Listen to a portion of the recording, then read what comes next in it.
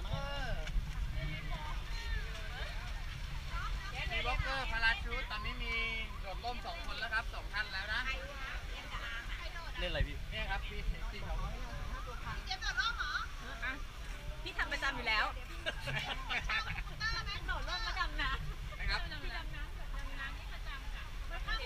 พี่เจี๊ยบโดดจากเฮลิคอปเตอร์ลงมาดำน้ำพูดถึงเวลาทำงานนะเป็นอะไรไม่ออกก็ดำน้ำไป